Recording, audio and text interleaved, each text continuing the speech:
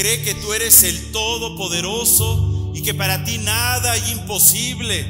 Nuestros corazones están en ti, Señor. Gracias te damos por tu amor. Gracias te damos por tu presencia.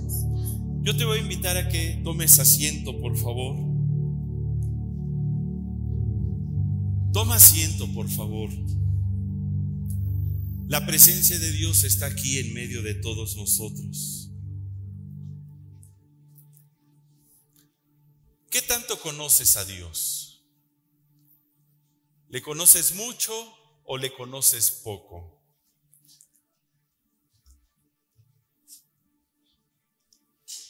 Imagina que un niño se pierde en un parque y su padre desesperado empieza a llamarlo. Hijito, Enrique, Ernesto, Juanito, ¿dónde estás? Y a pesar del ruido y de la gente que hay alrededor, el pequeñito empieza a reconocer la voz de su padre y se dirige hacia él, sabiendo que lo va a encontrar con toda seguridad. ¿Cómo sabe que es la voz de su padre?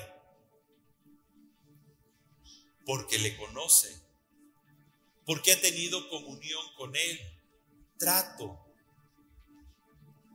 Y así como este pequeño tiene comunión con su padre y aprendió a reconocer la voz de él en medio de situaciones difíciles porque se encontraba perdido en el parque ¿Sabes que Dios desea que aprendamos a reconocer su voz en medio de las distracciones de la vida o en los tiempos de tribulación? ¿Y cómo reconocer su voz? El secreto está en conocer a Dios o en ser conocido por Él. Hoy vamos a ver un tema que tiene como título, si conoces a Dios, síguelo. Dile a tu compañero, si conoces a Dios, síguelo. Abre la escritura, por favor, en Juan 10, 27. Juan 10, 27. Y si pueden ir saliendo los pequeñitos y los muchachos de Nación Centro, y nos quedamos aquí los adultos. Juan 10, 27. Dice la escritura, mis ovejas oyen mi voz y yo las conozco. ¿Y qué hacen? Y me siguen. Vamos a orar para que Dios hable a nuestro corazón. Padre, y te damos gracias porque tu presencia nos acompaña en esta mañana y tu Espíritu Santo está en medio de nosotros. Y tú anhelas que te sigamos. Tú anhelas que te conozcamos íntimamente y que busquemos en todo momento agradarte a través de nuestra manera de vivir. Haz tu obra el día de hoy en medio de nuestros corazones. En el nombre de Cristo Jesús. Amén. Dice Juan 10, 27, mis ovejas oyen mi voz. Levanta la mano si tú te consideras oveja del Señor. ¿Te consideras oveja del rebaño de Dios? Con base a este pasaje, si tú eres oveja de Dios significa que al menos acontecen tres cosas en tu vida. Oyes la voz de Dios. Esto habla de que la conoces, la distingues en medio de todas las voces que hay en este mundo. Y las voces de este mundo van a tratar de desviarte del camino, verdad y vida. Número dos, significa que Dios te conoce, porque aquí dice, mis ovejas oyen mi voz y yo las conozco. Significa que Dios te conoce. Esto implica que Dios tiene sus ojos puestos en quién. ¿En quién? ¡Ay, qué bonito se escucha! Dios tiene sus ojos puestos en quién? en mí y en ti. ¿Y sabes que el conocimiento de una persona es recíproco? Yo estoy seguro que Eric conoce a su esposa y su esposa lo conoce a él. Y dice, vaya que lo conozco, ¿verdad? Si te contara, el conocimiento es recíproco. Si tú tienes comunión con Dios y logras que Él te conozca, tú le vas a conocer verdaderamente a Él. Y número tres, si tú le sigues, significa que tú vives conforme a sus principios y valores y buscas honrarle y agradarle en toda tu manera de vivir. ¿Se están dando estas tres condiciones en tu vida para que puedas decir, yo soy oveja del rebaño de Dios? Ay, hermano Jorge, ya empezamos con cuestionamientos difíciles. Ya ves, tan contento que estaba hoy y me empiezas a preguntar cosas que no me gustan. La realidad, Jorge, es que me cuesta trabajo escuchar la voz de Dios. No logro distinguirla.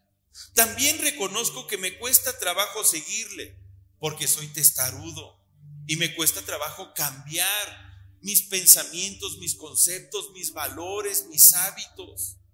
Y no sé si Dios me conoce. A veces siento que ni yo lo conozco. No te preocupes.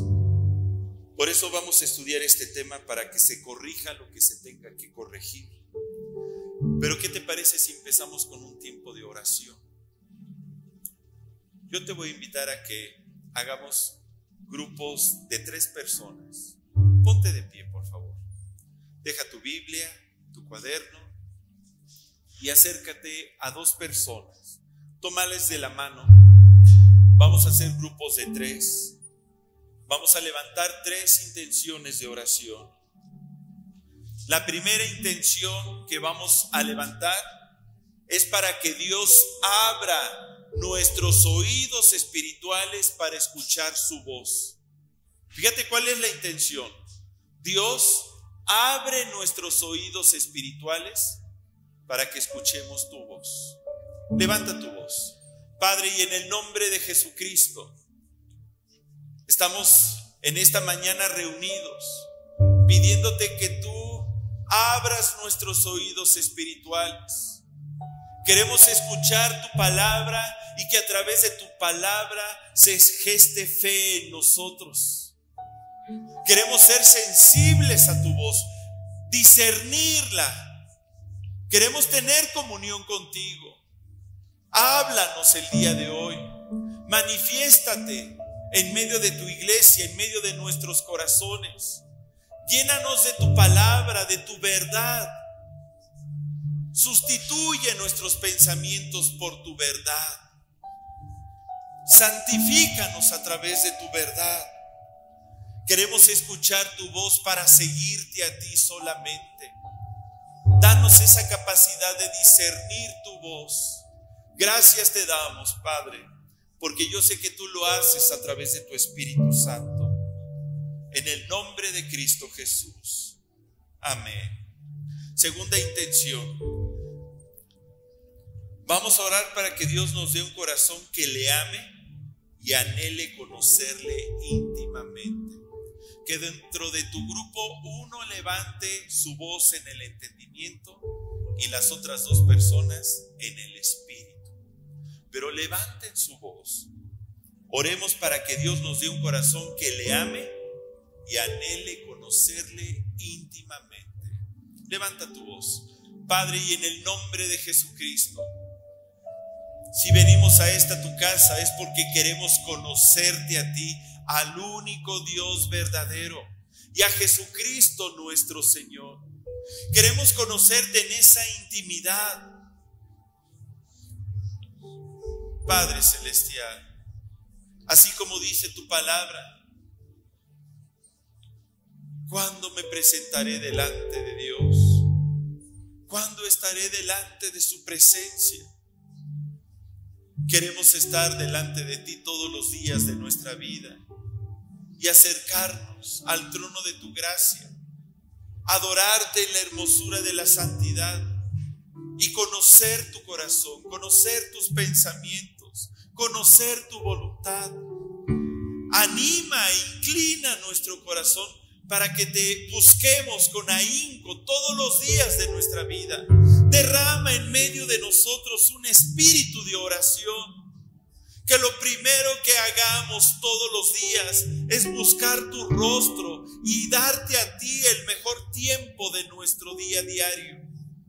Gracias te damos, Padre, porque tú pones en nosotros ese querer y hacer por tu buena voluntad para amarte a ti con todo nuestro corazón, alma, mente y fuerzas. En el nombre de Cristo Jesús. Amén. Amén. Tercera intención. Vamos a pedir que sea eliminado de nosotros cualquier distracción, preocupación, duda, temor o sentimiento que nos esté impidiendo conocerle realmente. ¿Sabes? ¿Por qué te digo esto? Porque cuando conocemos realmente a Dios, si estamos pasando por una adversidad, no voy a dejar que mi corazón se llene de temor, porque conozco quién es Dios. Cuando yo lo desconozco, ay, entonces sí me cargo de miedo, de incertidumbre, de temores, de angustias, de preocupaciones, porque realmente no conozco quién es Él. Vamos a orar para que entonces sea eliminada cualquier distracción preocupación, duda, temor o sentimiento que nos impida conocer realmente a Dios. Levanta tu voz. Padre, y en el nombre de Jesucristo, tú dices en tu palabra que el perfecto amor echa fuera el temor. Y en este momento estamos echando fuera de nuestro corazón toda duda, todo temor, toda preocupación, toda tristeza todo aquel sentimiento, pensamiento o argumento que se haya levantado en nuestra mente contrario a tu verdad. Queremos conocerte a ti, queremos descansar en ti, queremos que sea quitado de en medio de nosotros todo aquello que esté impidiendo que nos entreguemos a ti por completo.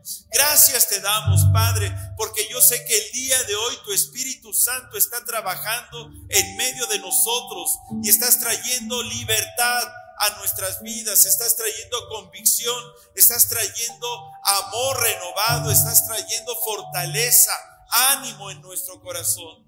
Te bendecimos porque tú eres bueno, Padre, y te damos gracias porque tú traes descanso y sobre todo certeza de quién eres tú a nuestra vida. En el nombre de Cristo Jesús. Amén. Amén.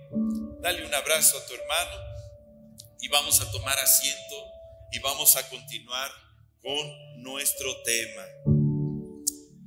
Dios te bendice. ¿Sabes qué significa ser conocido por Dios? significa que existe una relación íntima y auténtica con Él, más allá de cualquier formalidad o apariencia. Jesús expresó esto de manera contundente en Mateo 7 del 21 al 23. Acompáñame por favor. Mateo 7 del 21 al 23. Mira lo que dice Jesucristo. Qué importantes son estas palabras. No todo el que me dice, Señor, Señor, entrará en el reino de los cielos, sino, ¿quién?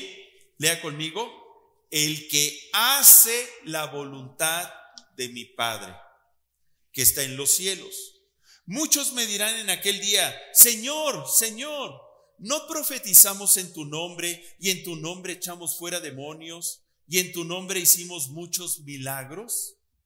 Entonces les declararé, lee conmigo por favor, nunca os conocí, apartaos de mí, hacedores de maldad.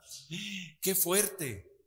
Imagínate, ser un, un cristiano que en el nombre de Jesús profetizamos, echamos fuera demonios, oramos por las personas para que sanen, si hacen muchos milagros y levantamos nuestra voz clamando, Señor, Señor.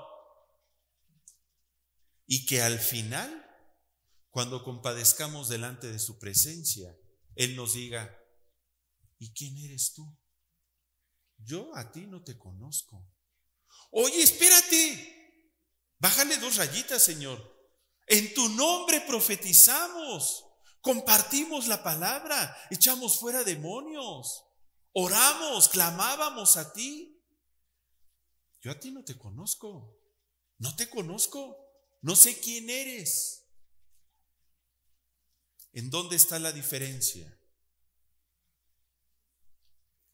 En que los que Dios conoce son aquellos que hacen la voluntad del Padre. Por eso en nuestra cita base que leímos, ahí en Juan 10, 27, mis ovejas oyen mi voz y yo las conozco y me siguen. Por eso hablamos de qué significa seguir a Jesús. Vivir conforme a sus principios, propósitos, hacer lo que le agrada a Él, hacer su voluntad no vivir conforme a nuestra voluntad. Este pasaje subraya entonces que no basta decir que conocemos a Dios. Si yo te pregunto, ¿cuántos conocen a Dios? Oye, espérate, tenemos que tomar conciencia. Yo no puedo levantar la mano nada más así, porque el que yo diga que yo conozco a Dios, significa que Dios me conoce a mí. ¿Te acuerdas que comentamos que el conocimiento es recíproco? ¿Cómo podemos ser conocidos por Dios, Jorge? Yo quiero que Dios me conozca. Yo quiero que cuando esté delante de su trono compadeciendo, él, él no me diga, yo a ti no te conozco, sino que me diga, venid benditos de mi Padre, heredad del reino preparado para ustedes. Yo quiero que me reciban. Pues vamos a conocer tres puntos importantes que nos pueden meter en ese encuentro.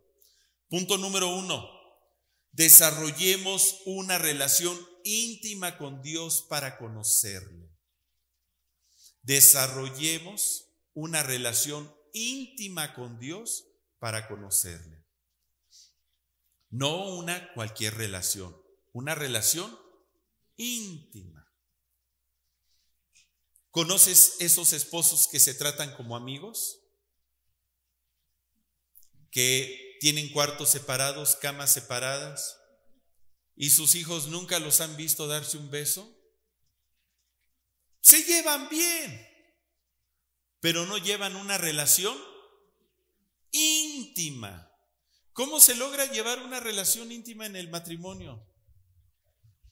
Durmiendo en una cama king size o en una individual? En una individual y si se puede hamaca, mejor, ¿verdad? Pues sí, a eso se refiere el Señor de tener una relación íntima con Él.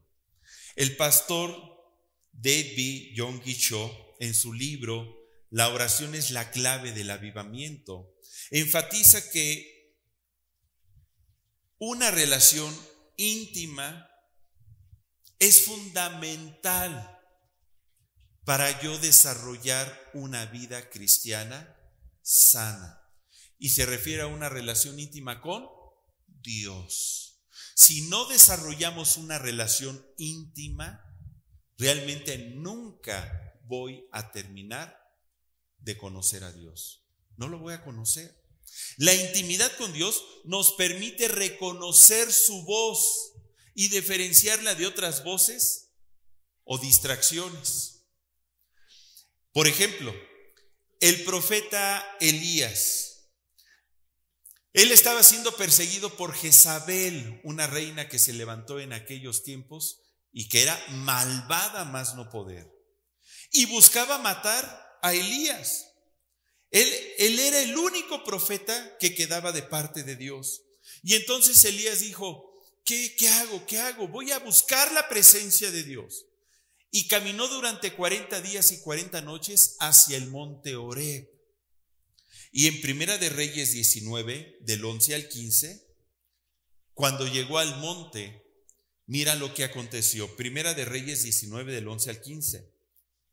Y él le dijo, él con mayúsculas, se refiere al Señor, sal fuera y ponte en el monte delante de Dios. Y aquí el Señor que pasaba y un grande y poderoso viento que rompía los montes y quebraba las peñas delante del Señor. Le conmigo, pero Dios no estaba en el viento. Y tras el viento un terremoto, le conmigo, pero Dios no estaba en el terremoto. Y tras el terremoto un fuego, pero Dios no estaba en el fuego. Y tras el fuego un silbido apacible y delicado.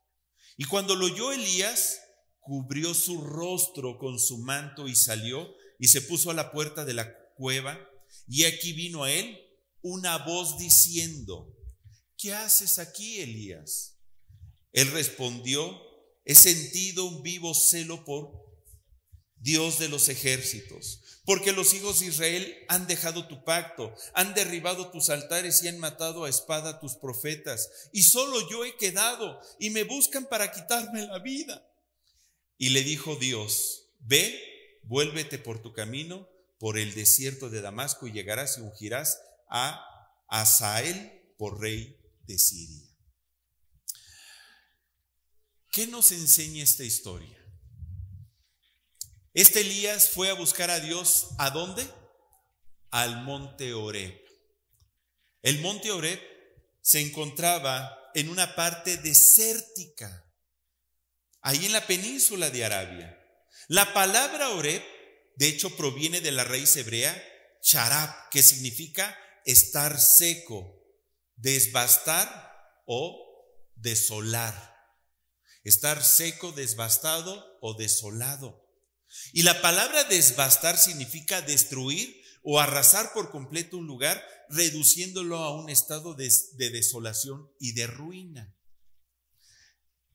Oreb significa que no solamente representa un lugar físico, desolado, desbastado y seco, sino es un sitio espiritual, un sitio espiritual de encuentro con Dios donde el alma que se acerca al Señor viene en esta condición, en una condición de sequedad, de devastación, de desolación, de destrucción por completo. Y solo puede ser saciada, restaurada, animada o vivificada esa alma por la presencia de Dios. Porque ahí en el monte Oreb no hay agua. Nada más hay desierto alrededor. Elías caminó 40 días y 40 noches para llegar al monte Oreb. No hay alimento, no hay que beber. Prácticamente alguien que se interna a ese desierto está destinado a la muerte. Sin embargo, Elías caminó hasta el monte de Dios porque sabía que en la presencia de Dios iban a ser satisfechas sus necesidades. Porque en la presencia de Dios hay plenitud de gozo, hay paz, hay saciedad del alma. Yo no sé si tú estás pasando por desiertos inhóspitos, pero son en esos desiertos cuando estamos completamente solos, cuando hemos tocado fondo, cuando ya no vemos lo duro sino lo tupido, cuando nos encontramos ahí, cuando sientes que las cosas no podrían ir peor en tu vida, es cuando verdaderamente puedes tener ese encuentro personal con Dios en esa desolación. Y Dios desea revelarse a tu vida. A veces Dios nos permite tocar fondo porque Dios quiere que le conozcas. Dios nos lleva por desiertos, por desolaciones, para que tú y yo conozcamos verdaderamente quién es Él. ¿Cuáles serán los oreps por los que estás pasando actualmente? No lo sé. Pero dile a tu compañero, Dios puede saciar tu alma seca. Coménteselo. Dios puede saciar tu alma seca. Pero ¿cómo? En la presencia del Señor, entrando en su presencia. La invitación que el día de hoy Dios nos hace es que le conozcamos íntimamente para que aprendamos a discernir su voz. Y si escuchamos su voz, es para que le obedezcamos. Dios no siempre va a hablarnos a través de circunstancias extraordinarias. Este pasaje también enseña eso. Un viento grande y poderoso, un terremoto o un fuego, los cuales son símbolos del poder de Dios y de la manera en cómo se ha manifestado en la vida del hombre. Podemos encontrar, por ejemplo, que el Espíritu Santo vino a los discípulos de nuestro Señor Jesucristo en el aposento alto a manera de un viento recio. ¡Ah! Y dijeron, ay, aquí está la presencia de Dios. Ahí en Hechos 2.2. O cuando el pueblo de Israel fue llevado por Moisés al desierto y en la montaña descendió fuego y empezaron a escucharse sonidos de trompeta, empezó a temblar la tierra, relámpagos y, y, tronidos espantosos se escucharon, de tal manera que el pueblo tuvo miedo y se retiró y le dijo a Moisés, ¿sabes qué? Mejor tú habla con Dios, preséntate por nosotros delante del Señor, porque lo que veían los llenó de mucho temor. Dios se manifestó en toda su gloria, ahí en Éxodo 20 del 18 al 19. O cuando Dios habló con Moisés en medio de la zarza que se quemaba en un fuego. Y Dios le dice a Moisés, quita el calzado de tus pies porque el lugar donde estás, santo es. En Éxodo 3 del 1 al 3. Son manifestaciones del poder de Dios. Pero Dios no se presentó así con Elías. ¿Cómo pudo discernir Elías que era Dios? Porque le conocía. Y entonces pasó el viento, pasó los sonidos estruendosos, pasó el fuego. Y hasta que Elías escuchó un silbido, suave y apacible. Fue cuando salió, se cubrió el rostro y dijo, aquí está Dios. Pero pudo discernir eso porque conocía a Dios, tenía comunión con Él. A veces nosotros en nuestra vida tomamos malas decisiones porque creemos que Dios nos está hablando y porque creemos que como Dios se ha manifestado de una manera, ah, entonces significa que lo que estoy recibiendo ahorita es de parte de Dios. Y tal vez no es Dios, tal vez es tu interés, es tu deseo. El día de ayer estaba aquí trabajando y, me hablan por teléfono para pedirme una consejería este, telefónica de alguien que no se congrega aquí.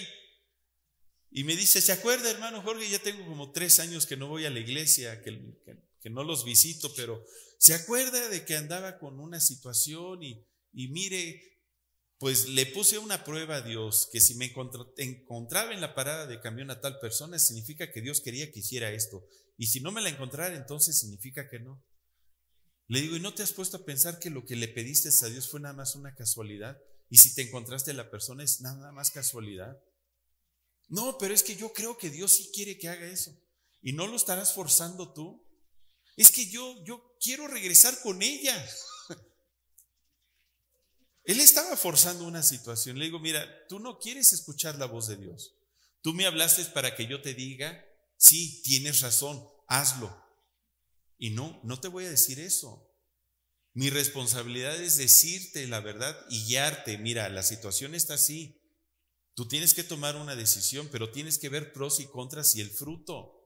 Pero a veces la gente quiere obligar a Dios a que haga algo que Dios no te ha dicho que quiere hacer ni que va a hacer. Y nos cuesta trabajo discernir su voz.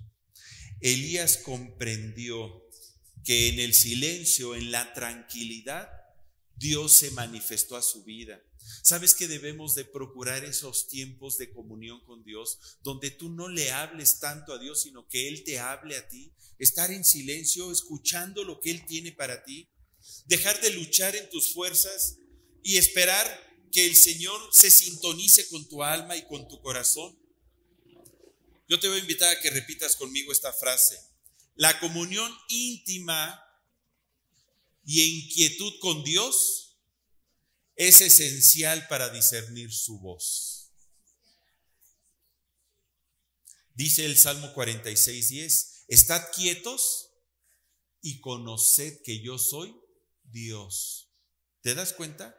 ¿Cómo podemos conocer que Él es Dios? Estando quietos. No, no, no, yo le voy a echar la mano, no. Quédate quieto y conoce que Él es Dios. Déjalo actuar en tu vida. La palabra quietos en hebreo es rapa, que significa detenerse o dejar de luchar. Estar quietos es dejar de luchar en tus propias fuerzas. La quietud es una rendición activa, un espacio en el que dejamos de luchar para poder recibir la dirección de Dios o para dejar que Dios actúe a favor de nosotros. En Hebreos 3:15 dice, si oyes hoy su voz, no endurezcas tu corazón. Lo endurecemos cuando queremos hacer nuestra voluntad y no la de Dios. El pastor Billy Graham, él escribió que la clave para escuchar a Dios y conocerle está en la disposición del corazón. ¿Qué tanta disposición tienes tú para escuchar la voz de Dios y conocerle? Un corazón abierto a Dios nos capacita para recibir su instrucción y ser transformados. Si tú no tienes un corazón abierto para Dios, Dios difícilmente te va a hablar. Y si te habla, no vas a distinguir su voz. Y si la logras distinguir, no vas a tener el ánimo de obedecerle, porque en ti no hay un corazón dispuesto. No endurezcas tu corazón. La palabra endurecerse significa hacerse insensible. No te hagas insensible al Señor. Déjame darte un ejemplo. El profeta Samuel, en 1 Samuel 3, del 3 al 4. El profeta Samuel fue una persona muy sensible a la voz de Dios, desde que era pequeño. 1 Samuel 3, del 3 al 4. ¿Sabes que Dios le habló a Samuel mientras dormía? Dice la escritura, y Samuel estaba durmiendo en el templo del Señor. Nada más mira dónde estaba durmiendo. En el templo, donde estaba el arca de Dios, el lugar más sagrado. Y antes de que la lámpara de Dios fuese apagada, Dios llamó a Samuel y él respondió, heme aquí. Pero ¿qué crees? Samuel no conocía a Dios. Había oído hablar de Dios. A veces creemos que cuando hemos oído hablar de alguien le conocemos y no necesariamente. Dice en 1 Samuel 3:7, y Samuel no había conocido aún a quién? Al Señor. Ni la palabra de Dios le había sido revelada. Difícilmente tú vas a entender la Biblia si tú no conoces al autor de la palabra, al autor de la Biblia. Hay mucha gente que la lee y que son teólogos y le estudian como una materia más, pero no la creen, no la viven, no la entienden, porque no conocen a su autor. Y esa es la diferencia. Samuel seguramente había escuchado hablar de Dios. Dormía en el templo, servía desde pequeño, fue ofrecido al Señor, pero no le conocía. ¿Te das cuenta? Tú puedes venir y congregarte a la iglesia y no conocer a Dios realmente. Tal vez crees que le conoces, pero no le conoces. Y así estaba Samuel. No lo, conocía y por lo mismo no le había sido revelada la palabra. ¿Usted, amado hermano, conoce a Dios? le vuelvo a preguntar la pregunta del inicio. ¿Conoce a Dios? Tal vez me va a contestar, sí, yo le conozco. Mira, me sé 25 de sus nombres. He leído su palabra. Uh, le conozco. No, no me refiero a eso. Me refiero a que si tú lo conoces es porque Él te conoce a ti. Y si tú le conoces, ¿cuál es nuestra cita base? Mis ovejas, ¿qué hacen? Escuchan mi voz, yo las conozco y me siguen. Ahí está la diferencia. Me siguen. Conocer a Dios, podemos decir que conocemos a alguien cuando tenemos un trato personal. Y ese trato personal es que conocemos su corazón. Conoces el corazón de Dios, sus gustos, sus intereses, su carácter, su forma de ser, de sentir, de actuar. ¿Sabes quién conocía al Señor? Y me gusta mucho cómo eh, la Biblia se refiere de él, el rey David. La Biblia dice que David era un hombre conforme al corazón de Dios. En pocas palabras, el Señor decía, David me conoce y yo conozco a David. Conocemos nuestros corazones. Y el joven Samuel había escuchado de Dios, seguramente conocía la Torah, conocía la ley, la, la leía, pero no conocía a Dios y no le era revelada la palabra. En 1 Samuel 3 del 9 al 11, vamos a continuar leyendo. Y dijo Elías Samuel, ve y acuéstate y si te llamare dirás, habla, Señor, porque tu siervo oye. Así se fue Samuel y se acostó en su lugar y vino Dios y se paró y llamó como las otras veces. Samuel, Samuel. Yo me lo imagino así. No, creo que cuando quieras despertar a alguien, oye Samuel. Oye, no, ¿verdad? Normalmente llamas a alguien con cariño. Hijito. Se nos hace tarde. ¿Verdad? Con cariño. Samuel, Samuel. Entonces Samuel dijo, habla porque tu siervo oye.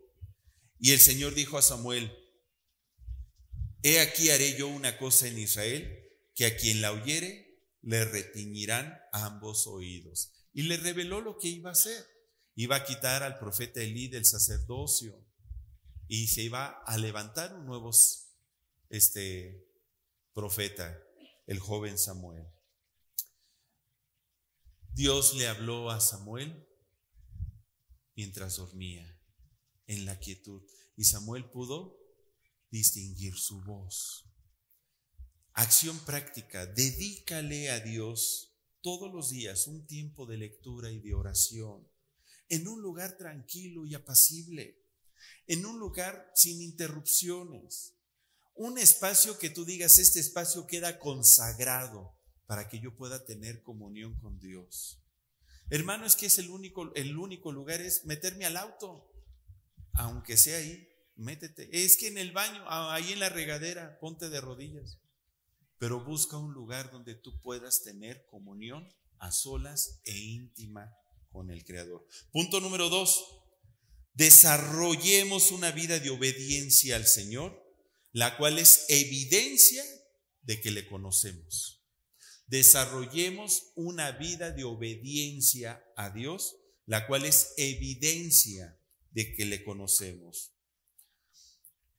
Hay un pastor llamado Rick Warren, en su libro Una vida con propósito, dice que la obediencia es la señal de que verdaderamente se conoce a Dios. Repite conmigo, por favor. El practicar la obediencia abre la puerta a las revelaciones de Dios. Fíjate lo que te estoy diciendo. Una persona que obedece a Dios, ¿sabe qué va a pasar? Dios le va a seguir revelando y revelando su perfecta voluntad. A una persona que no obedece, yo creo que el Señor va a decir, ¿para qué te hablo? ¿Para qué te revelo mi palabra si ni me vas a hacer caso? Y entonces uno se queda como neófito. Lee mucho, pero entiende poco porque poco le es revelado, porque poco ama, porque poco obedece.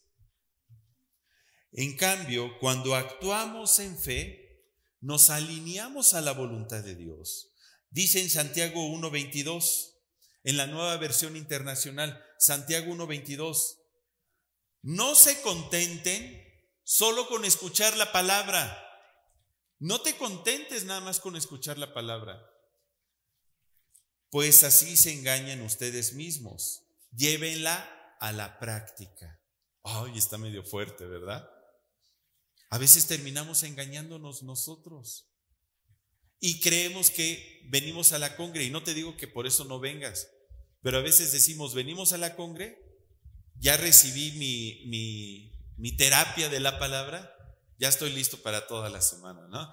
Y ya durante la semana me voy desinflando, desconchinflando y digo, ay, necesito un poco de, de terapia y otra vez el próximo domingo. Mira, la realidad es de que tú pudieras estar viviendo de poder en poder y de victoria en victoria y vivir las, vivir las manifestaciones gloriosas de Dios todos los días. Cuando hay una búsqueda diaria de la presencia de Dios y un deseo por obedecerle todos los días. Todos los días. La comunión con Dios es todos los días. El apóstol Pablo enseñó que escuchar sin actuar es como mirarse en un espejo y olvidar nuestra identidad. El escuchar sin actuar, sin vivir la palabra. Es como mirarse en un espejo y olvidar quiénes somos nosotros. La palabra hacedores en griego es poietes y es una palabra que denota a alguien que transforma el conocimiento en acción. Hoy me gusta cómo suena. Transforma el conocimiento en acción.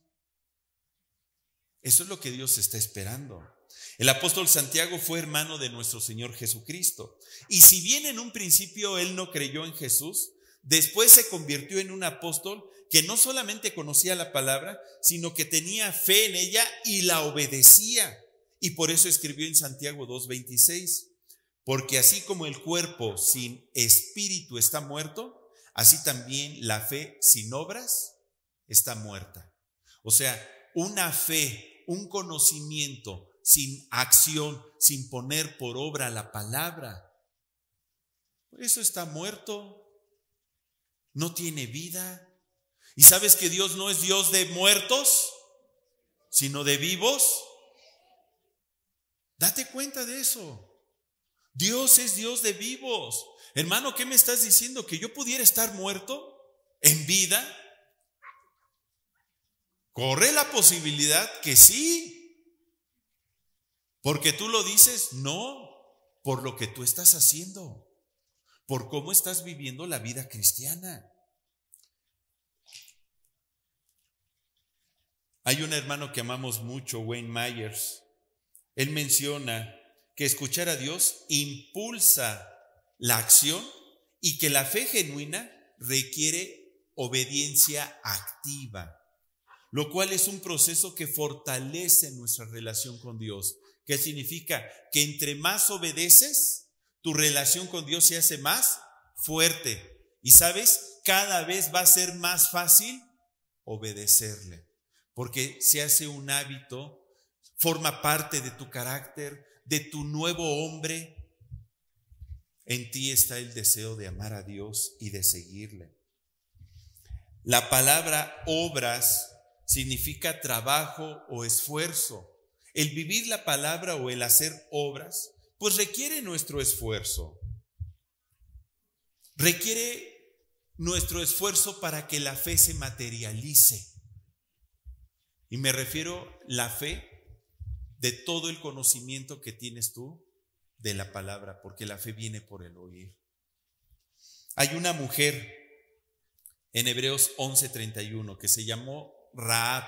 ¿Has oído hablar de Raab? Ella era una ramera.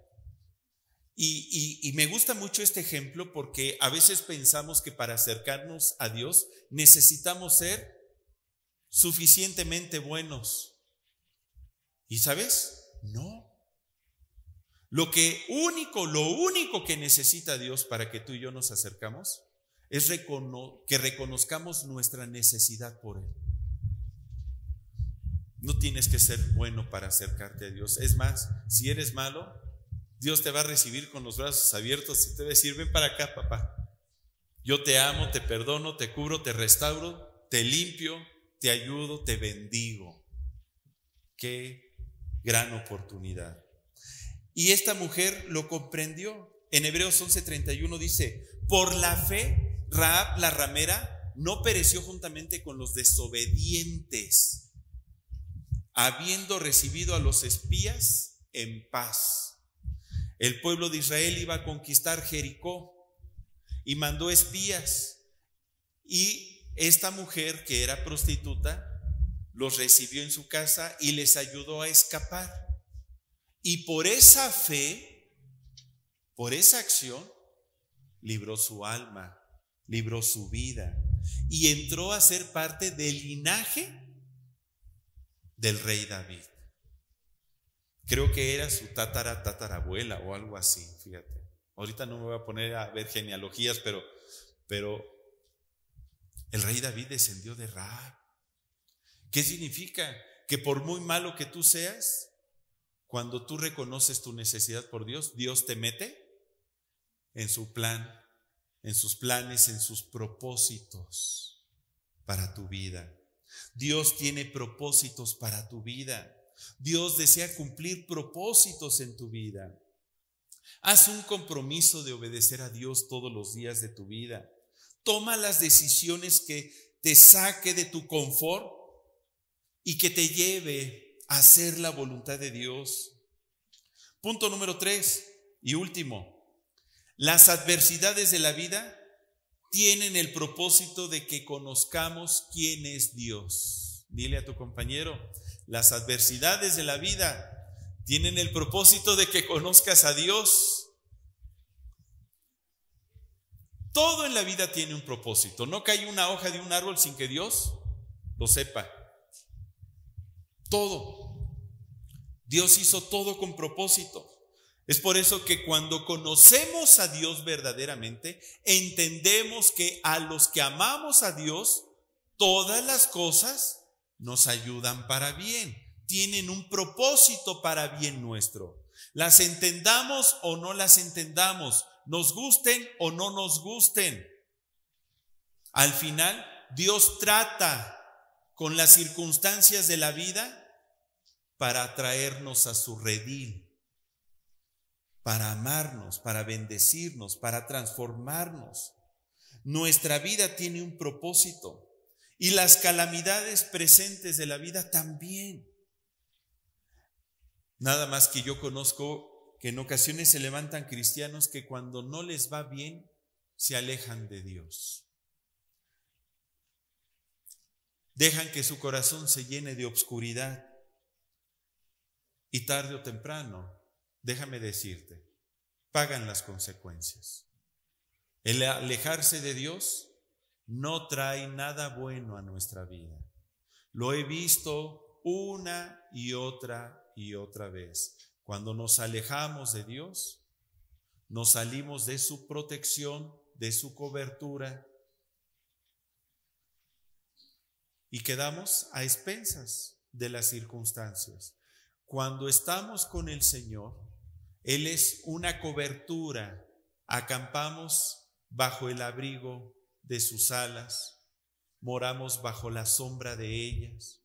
Diré yo al Señor, esperanza mía, castillo mío, mi Dios, en quien confiaré. Él te librará del lazo del cazador, con sus plumas te cubrirá y debajo de sus alas estarás seguro. Sí, ¿Te acuerdas de Jonás? El que vende tortas aquí en la esquina. No, no. Jonás, el profeta Jonás. Acompáñame a Jonás 1, del 1 al 3. Jonás 1, del 1 al 3. Dios le habló a Jonás. Se reveló a su vida.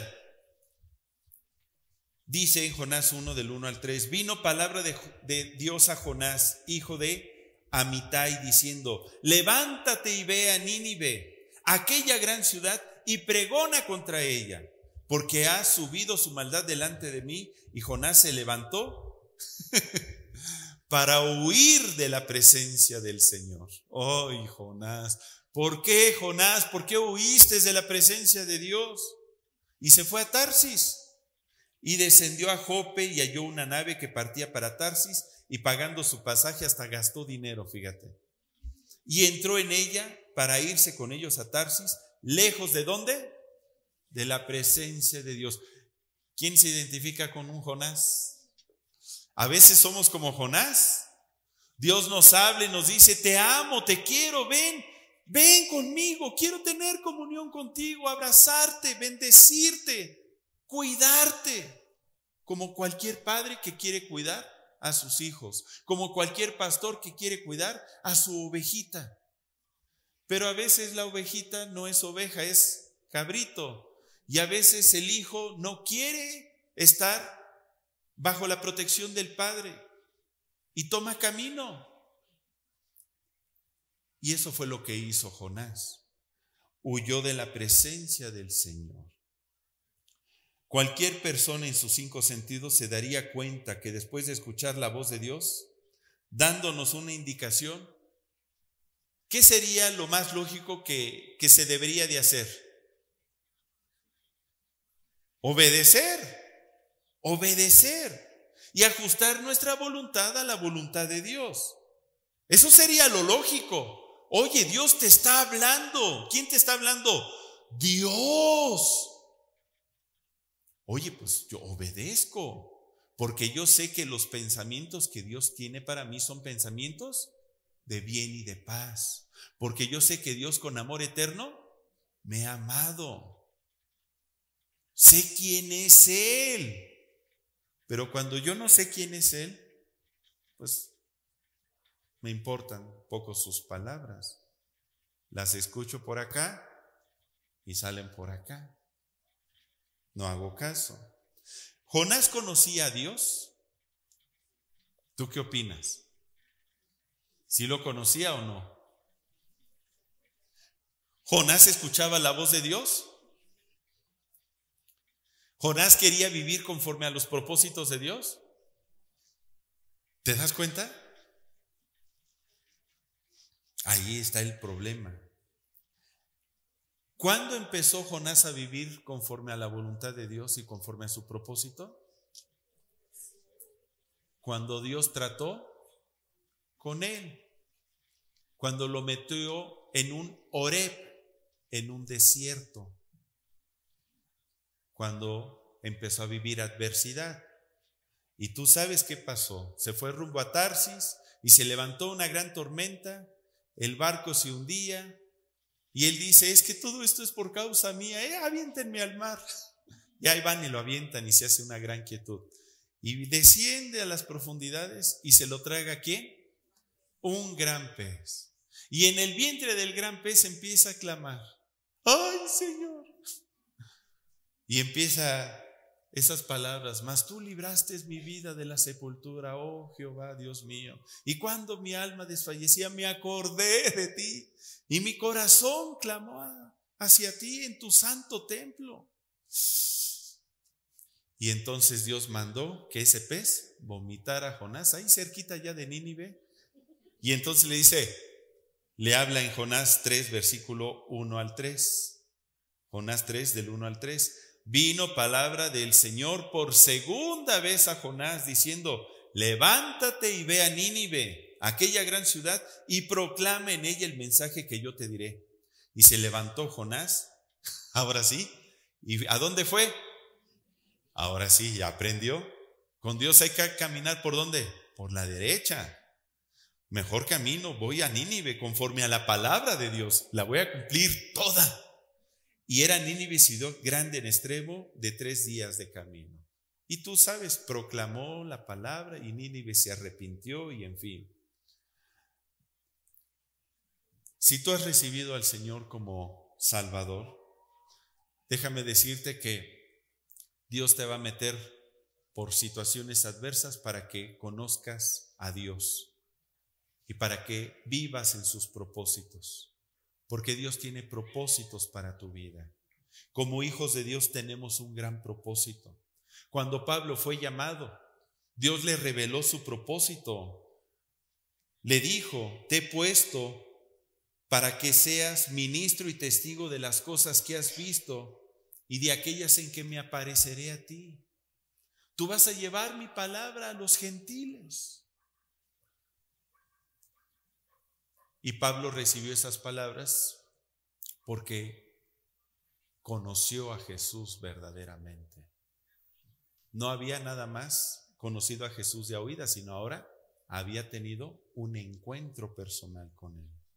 ¿Tú conoces a Dios? Si conoces a Dios, síguelo. Dile a tu compañero, ¿conoces a Dios? Síguelo. Síguelo.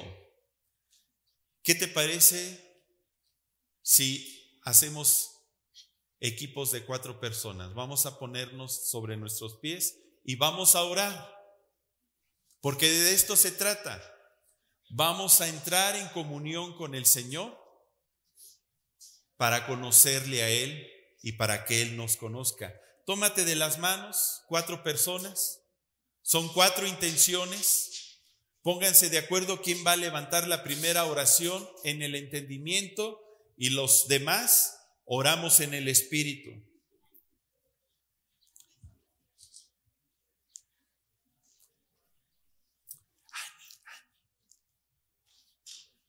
La primera intención es, vamos a orar y pedir a Dios sabiduría para tomar decisiones correctas en nuestra vida.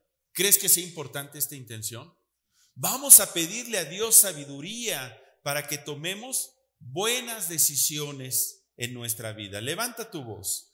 Padre, y en el nombre de Jesucristo, estamos delante de ti clamando por sabiduría. Tú dices en tu palabra que si alguno está falto de sabiduría, vengamos a ti y te la pidamos. No queremos equivocarnos. Queremos que tú, Señor, nos guíes en cada paso, en cada decisión. Ayúdanos a tomar buenas decisiones. Revélanos tu palabra, revélanos tu corazón, revélanos tu propósito para nuestra vida. Queremos caminar guiados por ti, Señor. Ayúdanos para que cada decisión que tomemos te honre y te glorifique solamente a ti, para que tú seas levantado hasta lo sumo. Gracias te damos, Padre, porque tú quitas de nuestro corazón cualquier estorbo que pudiese estar interfiriendo para tomar buenas decisiones en nuestra vida. En el nombre de Cristo Jesús, Llénanos, llénanos de tu palabra y sobre todo de un corazón dispuesto a ponerla por obra. En el nombre de Cristo Jesús. Amén. Segunda intención. Vamos a pedir fortaleza para obedecer la voz de Dios en nuestras decisiones y desafíos. A veces cuesta trabajo obedecer. Yo doy testimonio de eso. No es fácil obedecer. Implica renunciar a nuestro yo, a nuestro orgullo, a nuestra voluntad para rendirnos a hacer la voluntad de Dios. Vamos a pedirle que Dios nos dé fortaleza para obedecer. Levanta tu voz. Padre, y en el nombre de Jesucristo, Aquí está tu iglesia que deseamos obedecerte, queremos hacer tu voluntad. Reconocemos que nos cuesta trabajo, reconocemos que luego hay argumentos, pensamientos, sentimientos, cosas que se han vivido, malas experiencias que nos llevan, Señor, a no hacer tu voluntad. Perdónanos, Padre, perdónanos y ayúdanos, ayúdanos a obedecerte. Fortalece nuestra voluntad, nuestro dominio para hacer tu voluntad, para que en el nombre de Jesucristo sea puesto en nosotros un querer y un hacer por tu buena voluntad. Te pedimos que tú nos fortalezcas en fe, que tú fortalezcas nuestro amor por ti, nuestra obediencia por ti. Gracias te damos, Señor. Ayúdanos y transfórmanos conforme a tus misericordias en el nombre de Cristo Jesús. Amén, amén. Tercera intención, vamos a orar para que nuestra relación con Dios sea una relación donde podamos recibir dirección en cada aspecto de nuestra vida y tengamos esa paz, esa seguridad de que Dios nos está guiando. Levanta tu voz. Padre, en el nombre de Jesucristo, queremos vivir en paz y la única manera es sabiendo que tú nos estás guiando, que tú nos estás dirigiendo, que cada decisión que estaremos tomando viene de tu corazón a nuestro corazón y que tú nos la revelas, que en el nombre de Jesús no dejarás caer a tierra palabra nuestra, sino que será firme todo lo que decidamos y será bendecido, será prosperado, porque tú estás detrás de cada una de nuestras decisiones. Gracias te damos, Padre, porque esta relación que vamos a empezar a establecer contigo va a ser franca, directa, intensa, creciente, preciosa, Señor. Queremos ser esa iglesia que se regocija en tu presencia. Queremos ser esa iglesia que te busca con todo su corazón, que te adora con todas sus fuerzas y que busca en todo momento hacer tu voluntad en cada aspecto de nuestra vida. Gracias te damos, Padre, en Cristo Jesús. Y por último vamos a orar para que comprendamos y cumplamos el propósito de Dios para nuestra vida. Dile al Señor, revélame tu propósito, levanta tu voz. Padre, en el nombre de Jesús, queremos que tú nos reveles el propósito que tú tienes para nuestra vida. Ya no queremos andar saltando de un lugar a otro, ya no queremos estar haciendo nuestra voluntad, ya no queremos equivocarnos en nuestras decisiones. Revélanos tu propósito, Padre. Haznos caminar en tu propósito. Permite que en el nombre de Jesús, si es necesario que nos metas en un oreb, en un desierto, para que tú te reveles a nuestra vida, para que verdaderamente te conozcamos a ti. Hazlo, Señor. Pero ya no queremos equivocarnos, queremos establecernos, queremos estar cerca de ti, queremos estar cerca de tu corazón, queremos conocerte en esa intimidad. Padre Celestial, haz tu obra en medio de nosotros. Queremos amarte, queremos obedecerte, queremos agradarte en todo. Oramos para que comprendamos tu propósito y que podamos caminar en ese propósito, Señor, todos los días de nuestra vida. En el nombre de Cristo Jesús. Gracias te damos, Padre. Gracias te damos.